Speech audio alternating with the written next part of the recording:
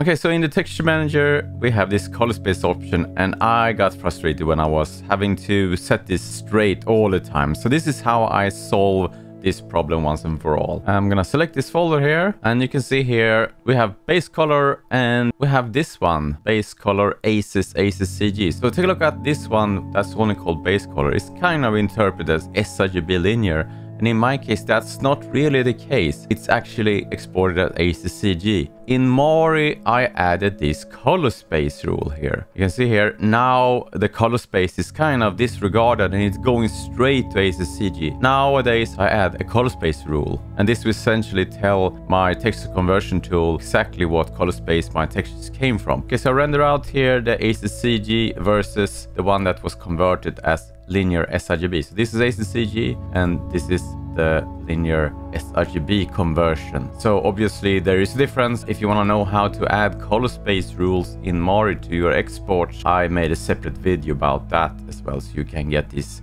names automatically added on your textures. Okay?